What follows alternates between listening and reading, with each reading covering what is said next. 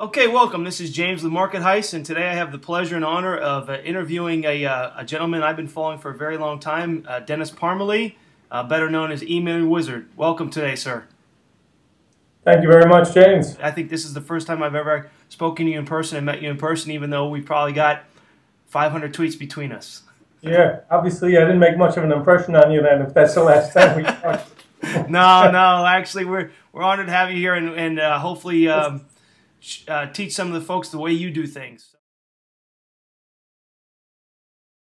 So, why don't you share with us how you became a trader, uh, what you did before, your your background leading into trading, and specifically how you've been successful in trading in the market, especially futures, because it is a high risk environment, and we know how difficult it is to, to trade for a living.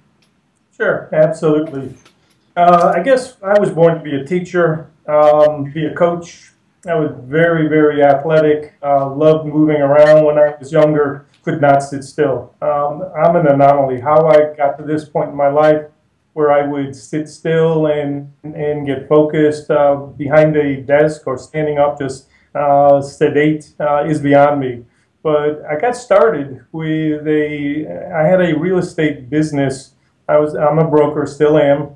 Um, and one of my uh, agents came to me and said, you know, I'm studying the markets. Would you be interested? I said, sure, why not? Always a game for something. So he got me started in it. We started with some silver positions, did some options, and I got hooked. Um, and that was probably back around 92, 93, uh, 1993.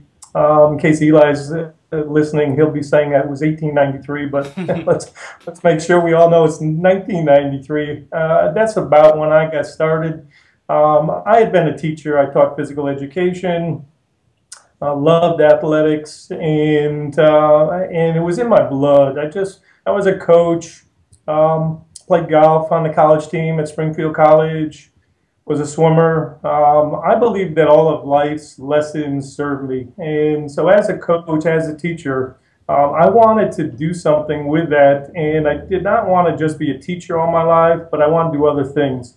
So in the late 80s, early 90s, I got out of uh, teaching and coaching. Had been a recreation director for the town of Woodbridge. Um, ran the pool, uh, number of jobs. Uh, was an assistant golf pro for a few years. So I had a, a variety of backgrounds. Mm-hmm.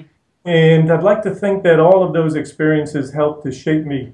Um, the common denominator was as a graduate of Springfield College, uh, humanistic background, uh, try to help people.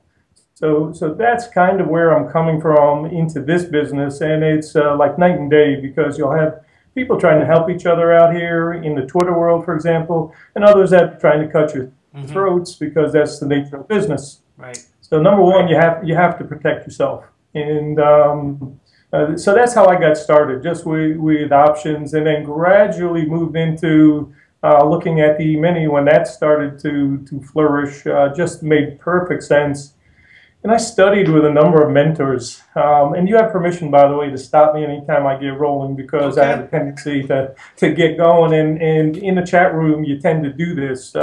Um, very So if you need to break me anytime, feel comfortable doing that. Okay. Uh, that's my stop loss. Okay. Uh, I've seen a lot over the years, James. Um, you know, from uh, the crisis back there in the uh, late 90s. Um, I mean, I've seen it all. Uh, you know that that's part of it. Um, I think after a while you get more experienced. It's not that you're smarter than anybody else, but you've lived long enough to see more, mm-hmm. have more experience to draw from.